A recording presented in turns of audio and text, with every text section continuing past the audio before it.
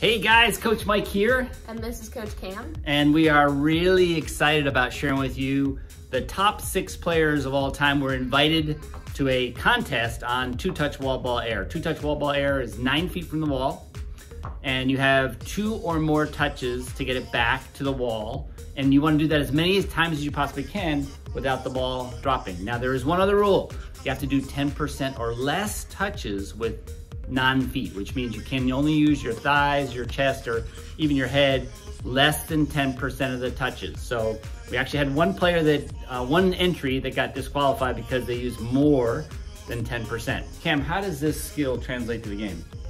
Well, that's easy. My coach at Carolina, Anson Dorrance, always talks about how first touch is by far the most important skill in soccer. Mm -hmm. Not that mm-hmm. the others aren't very important they are. But if you have a poor first touch, the older you get, the better your opponents get. You get crushed. Right. There's, the game, no time. The game gets yeah. faster, and if yeah. the ball gets away from you or yeah. if it gets caught underneath you, you're going to lose it before you're able to do anything effective with it's, it. It's interesting because when Brandt Bronico trained here, I asked him that question what's the most important skill at the MLS level? He didn't hesitate, he said first touch.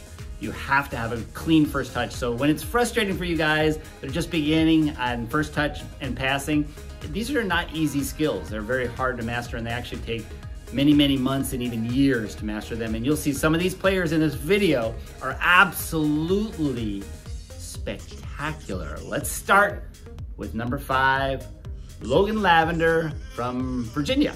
Logan is always a contender in every program that he competes in. This one was particularly difficult for him. His first attempt was disqualified because he had too many non foot touches. But his second attempt was much better, much cleaner. And one of the things I like about him, he's got a target on the wall, which is focus. He ends with 79 passes on this attempt, which I know he's got a lot more in him than this. And up next, number four, is TJ Fisher from Virginia. TJ was visiting relatives away from home when he did this one. His dad told me he finished at 1 a.m. in the morning, and he got 99 on this first attempt. His second attempt is one of my favorite clips because he's look where he's doing it. I'm not sure if he's at an office or at a school, proving yet again that you can always find a place to test. He got 166 on his second attempt. And number three, where do you think this one's gonna be from, guys? Virginia, but a different part of Virginia. Kyler Williams is number three from Virginia. Kyler is our youngest player in this contest, and take a look at his consistency on his placement on the wall. He ends his first attempt at 151 passes. One of the things you'll notice is as they get better, they take fewer touches. So Kyler is already learning to take fewer touches, which makes him faster with a higher count of 199. All right, that was an awesome, awesome display of a young, young player becoming extraordinary at a very difficult, a very difficult skill. And then up next is number two, Cassie Nichols from Maryland. And Cassidy is very interesting because I've challenged her personally to move back from the wall and to try different techniques. And what you notice about her technique is really it's it's a different type of of control than what you've seen so far. So let's watch Cassidy. Cassidy's first attempt, fewer touches on the ball, faster, more consistency, more accuracy. Her first attempt is 187 passes. As if 187 wasn't enough, how about adding almost 100 more passes to become number two, which is kind of hard to believe. She crushed all current records and her own record with 285 passes. And number one, drum roll please, Cameron,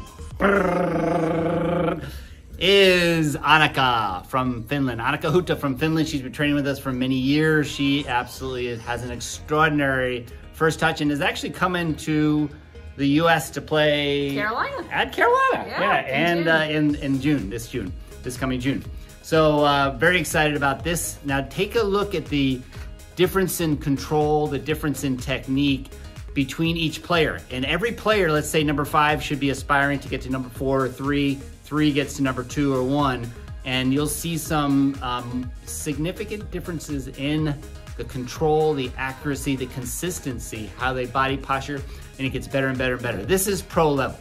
What is most surprising to me about Annika's attempts is that she did all three videos in the same practice. In the same practice. So she did it first time, which is this one, which got her 159 passes.